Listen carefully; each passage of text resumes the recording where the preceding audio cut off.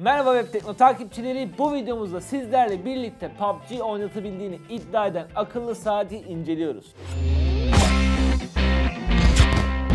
Kingwear KW88 Pro arkadaşlar bu isimle arattığınızda bulabiliyorsunuz. Çağdaş bunu internette videolarını görmüş. Ve bununla PUBG oynamaya çalışan hatta PUBG oynuyor gibi gözüken insanlar da var. Saatten PUBG oynamak bize bayağı enteresan geldi. Şimdi öncelikle yakın plana bir geçelim. İşin aslı öyle mi değil mi bir görelim. PUBG'de neler olacak ona bir bakalım. Daha sonra zaten saatin tüm detaylarına değineceğim. Öncelikle dediğim gibi ben sizlere PUBG'yi göstermek istiyorum. Şöyle PUBG Mobile'a basalım. Birazcık bekletiyor kendileri. Açsın yeter. Mottomuz buydu. Baya bir dakikadır bekliyoruz neredeyse. PUBG'nin loading ekranını gördük. Yazılar çok küçük. Okunmuyor arkadaşlar.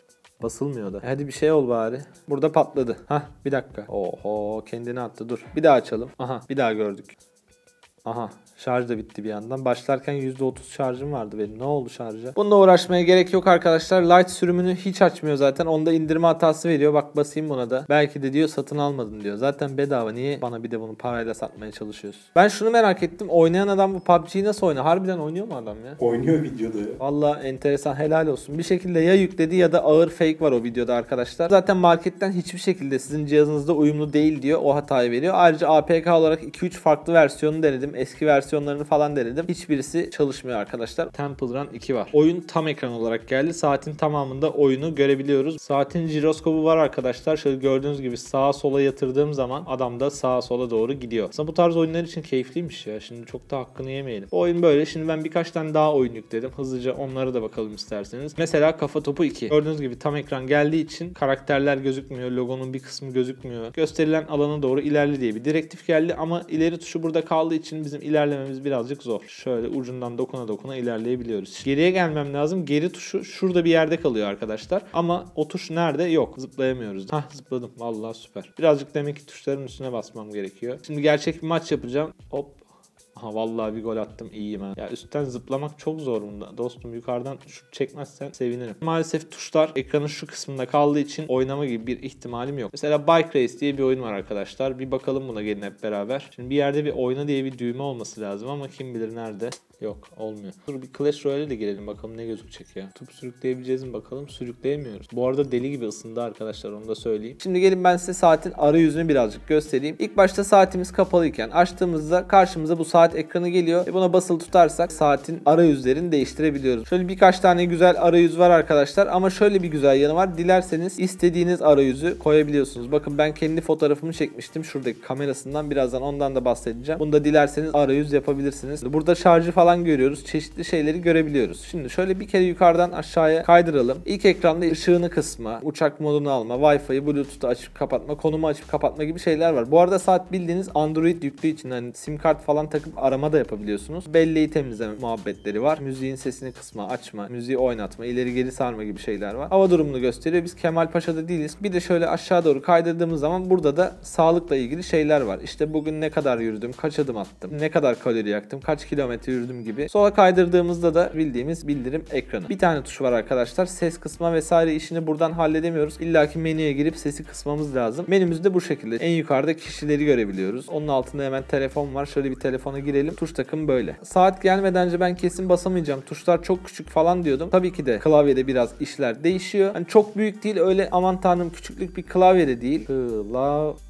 Yeah. Hani böyle yazmak zor geldi. Şurada bir mikrofon tuşu var. Basalım bakalım neler olacak. Basamıyorsunuz zira çok küçük. Olmuyor işte. Basamıyorum arkadaşlar. Benim parmaklar buna müsait değil. Ekranla ilgili ayarlar işte 30 dakika sonra uykuya dalsın ve parlaklık düzeyini buradan ayarlayabiliyoruz. Bir ayarlarda şunu göstereyim size. Android sürümü 7.0. Donanım çok iyi olmadığı için Android sürümünde çok bir önemi yok. Aslında buralar birazcık kırıvırı arkadaşlar. Çok fazla bir şey yok. Kamera kısmı birazcık değişik. Kamerayı bildiğiniz burada böyle sapık kamerası gibi. Gizli kamera buraya koymuş vicdansızlar. Bence çok çirkin bir yerde. Çok çirkin bir kamera. Hah bak Çağdaş çektim seni. 2 megapiksellik bir kamerası var. Düşük ışıkta da kötü çekiyor. Yüksek ışıkta da kötü çekiyor. Herhangi bir fark yok. Burası önemli. Kalbinizin ritmini ölçüyor. Şimdi ölçmeye gerek yok. Ancak şöyle bastığınız zaman gördüğünüz gibi yeşil ışık arkada yanıp sönüyor. Ve sizin kalp ritminizi ölçüyor arkadaşlar. Google Play Store. Kendi hesabımızla giriş yaptığımız Google Play Store. Buradan işte WhatsApp, Chrome. Ne ihtiyacınız varsa onları kurup oynarsınız diyeceğim de gördüğünüz gibi PUBG'yi açmadı zaten. Şöyle hızlıca bir tarayıcı performansına bakalım. Google Chrome'u açıyorum. Giriyoruz. Şöyle haber okumak keyifli mi? Buradan böyle herhangi bir şey okumak çok zor arkadaşlar. Bayağı minicik yazıyor. Şöyle geçelim sayfalar arasında. Ufaktan da olsa acil durumlarda bir web sitesine girip bakabiliriz. YouTube'a giriyoruz. Bakalım YouTube'da işler nasıl? Hatırlarsınız çakma telefonlarla oyun oynamıştık. O çakma telefonlardan daha iyi. Onun garantisini verebilirim. Tam ekranda gördüğünüz gibi bu şekilde şöyle zoom yapma şansımız da yok. Özelliklerinden bahsedeyim isterseniz saatin. Cortex A7 Mediatek 6580 işlemcisi var. 1 GHz hızında çalışıyormuş. Mali 400 MP grafik işleme birimi varmış. KW88 Pro. Tam model ismi bu arkadaşlar saatin. Aha reklam. Kapat kapat kapat. Android 7 ile geliyor. Az önce de bahsettiğim gibi ekranımız 1.39 inç arkadaşlar. 400'e 400 piksellik bir ekranımız var. 350 mAh'lik bir batarya var içinde. Toplam RAM'imiz 1 GB olarak gözüküyor. Kendi web sitelerinde bu değer 512 olarak gözüküyordu. Yani farklı farklı tam net olmayan değerler var arkadaşlar. Bluetooth kulaklık takıp müzik dinleyebilirsiniz. Herhangi bir kulaklık girişi yok saatin. Spor yapanlar için de çeşitli özellikleri mevcut. Şimdi gelin karşı açımıza geriye geçelim. Son sözlerimizi yavaş yavaş söyleyelim ve videomuzu kapatalım. Evet arkadaşlar saatin bütün detaylarına baktığımıza göre artık yavaş yavaş videomuzun da sonuna gelebiliriz. Saati ben pek beğenmemiş gibi anlattım arkadaşlar ancak amacınız böyle hafiften farklı bir ürün kullanmaktır. Biraz fiyatı uygun olsun. Sadece telefon görüşmeleri için vesaire kullanayım. Ufak tefek böyle haritalara bakayım gibi şeylerse saati kullanabilirsiniz. Amacınız gerçek fiziki bir Android cihaz, Android telefon gibi kullanmaksa onu